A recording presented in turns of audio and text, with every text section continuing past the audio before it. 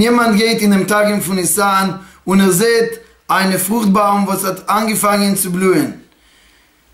Wird gebracht in dem Shulchan Aruch, dass er soll eine spezielle Bracha sagen, dem Birkat Hailanot. Diese Bracha sagen wir nur einmal in dem Jahr, in dem Monat Nisan. Manche Poskim aber schreiben das nicht unbedingt Monat Nisan, kann man das auch in Monat Adar und oder Monat Iyar sagen. Manche Poskim sagen auch, dass besser sagen, diese Bracha nur wenn wir sehen, zwei Bäume was blühen.